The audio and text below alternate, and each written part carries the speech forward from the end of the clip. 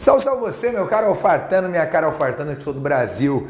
Salve, salve você também, que está aí pelo YouTube, procurando dicas e procurando aí sugestões de como estudar para concurso público. Legal, você fez, você tomou a sua decisão e fez uma escolha certa. A sua preparação, o seu estudo, ele deve ser uma coisa focada, direcionada, organizada, porque hoje concurso público está muito profissionalizado. Tem gente que acha que só indo à banca, é comprando um material didático, às vezes de última hora, uma apostila de última hora, ele consegue uma boa preparação. Ele está se enganando. Não vai conseguir uma boa preparação. Essa é a realidade. Essa é a verdade hoje no mundo dos concursos públicos. Então, para você estudar para concurso público, é legal que você saiba, né, que você conheça os caminhos da prova. Como é que a prova acontece? É? Como é que a prova chega a acontecer? Como, é que eu acompanho isso? O Alfa, o dá para você essas dicas legais aí, ó. Primeira coisa, nós temos a necessidade do concurso acontecendo.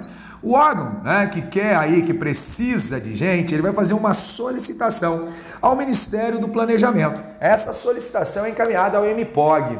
Legal, essa solicitação é avaliada, é apreciada, de acordo com a urgência da solicitação, é feita a avaliação. A solicitação já é o primeiro sinal de que o concurso vai acontecer, de que tem tudo para acontecer, salvo exceções. Algumas exceções existem, só que a gente não vai considerar a exceção, a gente vai considerar a regra. Então a solicitação já é o primeiro sinal. Por exemplo, o INSS está com uma solicitação de 2.280 vagas é, para TSS, para Técnico de Seguridade Social. Então há uma expectativa muito grande já em torno disso. Depois da solicitação, nós temos o Ministério do Planejamento é, fazendo a autorização. A autorização já é aquilo que diz: olha, o concurso está prestes, agora sim, agora foi com tudo aí, e nós temos um prazo para que seja definida a banca organizadora, para que sejam definidos alguns ajustes e depois da autorização, não costuma demorar muito até que saia o edital, até porque não tem um prazo muito grande, né, para a saída e a publicação do edital. O edital contém as informações básicas, é o nível do concurso, para qual cargo, qual órgão, da abrangência, remuneração, data de inscrição, data da prova, formato da prova, se tem redação ou se não tem. As informações pertinentes são as informações fundamentais para a sua preparação. E aí depois do edital vem o concurso. Né? Depois do edital, aí o edital já prevê a data do concurso, que pode acontecer em uma ou mais fases. Legal. Só que olha que interessante, nós trabalhamos com isso e nós respiramos isso todos os dias. Existem alguns órgãos, existem alguns casos, existem algumas áreas que nós já temos uma previsão é, bem interessante sobre o que vai ser cobrado. Por exemplo, Polícia Federal, agente da Polícia Federal, edital autorizado, tá? O concurso autorizado. Provavelmente a banca seja acesso para o UNB. O rol de matérias venha trazendo ali língua portuguesa, raciocínio lógico matemático, informática, atualidades Direito administrativo, direito constitucional, direito penal, processo penal, leis especiais, são alguns conteúdos que já, já é, caíram em outras provas e o concurso segue essa linha, segue esse rol de matérias. Para cada área, algumas matérias específicas. Então nós fazemos o que? Nós costumamos orientar a sua preparação. Onde deve começar a sua preparação? Ela já pode começar aqui, antes mesmo da solicitação. Ou você pode aproveitar e começar aqui, ó, o início da sua preparação com a solicitação, que é quando você tem um prazo legal, que é quando você tem um tempo legal. Mas eu vou me preparar antes do edital sair? Sim, usa como base o último edital.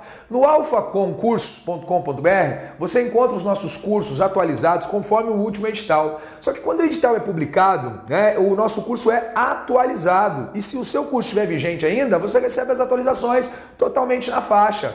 Aí com a autorização, tem muita gente que começa aqui a preparação. Só que aqui, olha, quem já é esperto já está se preparando.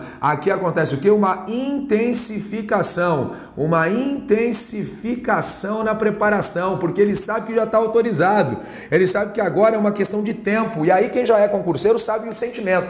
Ele fica com uma vontade que o edital sai, uma vontade. Quando o edital sai, ele fala: ai caramba, podia ter demorado mais, eu tenho que me preparar um pouco melhor. E aí, com o edital, é hora só do que? Agora, com o edital, é hora de turbinar os estudos. Com o edital aberto, é hora de turbinar os estudos. E aí, sabe o que você acompanha? Acontece, é, você, você vê um monte de gente deixando para fazer a inscrição só na hora que o edital abre.